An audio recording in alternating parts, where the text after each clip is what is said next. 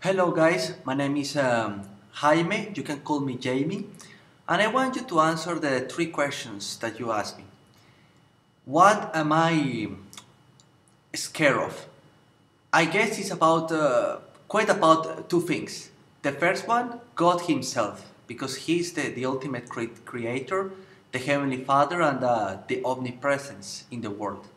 A second of all, a bit of myself, because, uh, well, I am so independent and so free that sometimes I am afraid of the consequences of my own actions. Like um, all this independence doesn't doesn't make me think straight, I guess, or whether what I'm doing is right or wrong. What makes me feel anxious?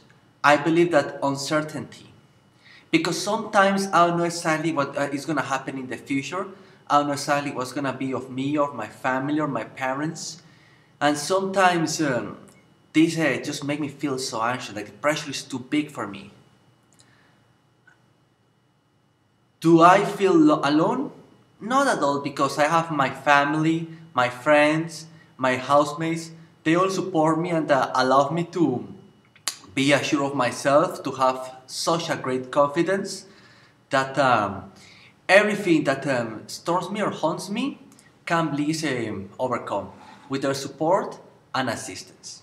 Thank you.